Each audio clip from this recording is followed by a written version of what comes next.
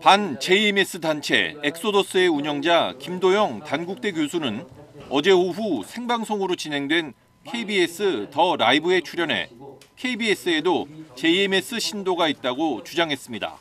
정명석을 비호하는 사람이 먼데 있지 않습니다. 이 KBS에도 있습니다. KBS PD도 현직 신도고 또 KBS 방송에 자주 나오는 그 통역이 있습니다.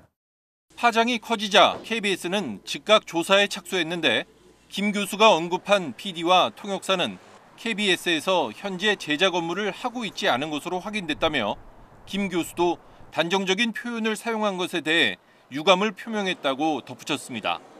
김 교수는 지난 7일 CBS 방송에 출연한 자리에선 검찰에도 JMS 신도가 다수 존재할 뿐만 아니라 검찰을 상징하는 조형물도 JMS 신도가 만든 것이라고 주장했습니다.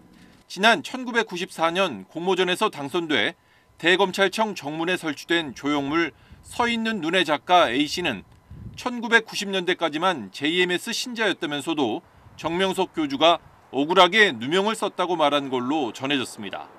한 아이돌 그룹 멤버의 부모가 JMS 신도라는 주장도 제기돼 소속사 측이 공식 입장을 밝히는 등 파문은 계속 확산하는 모양새입니다.